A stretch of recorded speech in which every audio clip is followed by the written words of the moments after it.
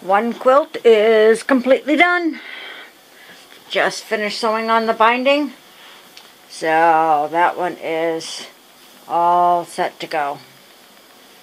So we've got one down, another one to go for Mr. Comatose, and then hopefully one more before Christmas, maybe.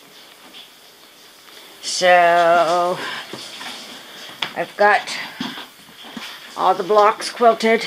That's my stack of blocks for the second one.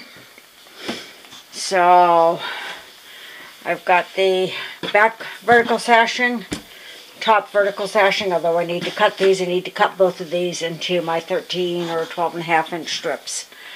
Um, iron the top sashings in half, square up the blocks, and see about getting that vertical sashing done.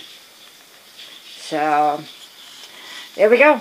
That's the goal for today.